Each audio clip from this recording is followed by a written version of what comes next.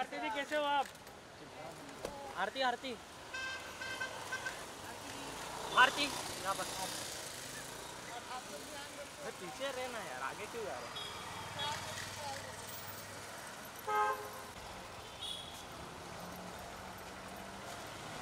अब मतलब निकलना मुश्किल हो गया मुझे काम है।